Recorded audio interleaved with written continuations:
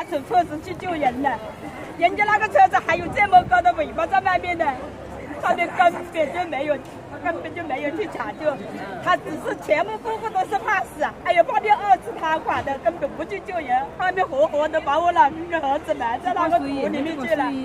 只就挂水泥，什么都不管的。你看哪里有这样的人呢？你看有没有一点良心呢？都是父母生的，不能这样的。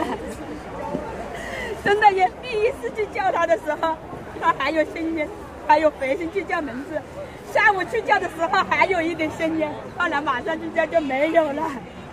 他们根本不采取措施的，哪里有这？我是早上十点到，接到通知，一点他们十二点到了。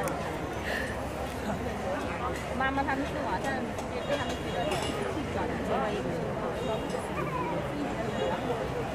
啊下午晚点的时候想起把我来了不是师傅，就我的这个儿子不算是没有，嗯，想起来了，因为我的亲戚什么亲人什么都是追上来的。昨天就我一个人，然后政府所有的政府没有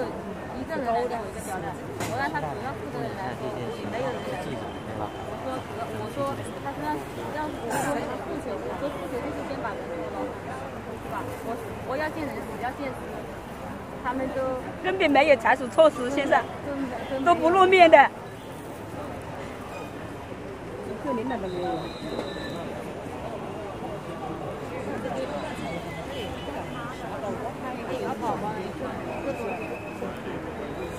爸爸跟爷爷就这么没了，昨天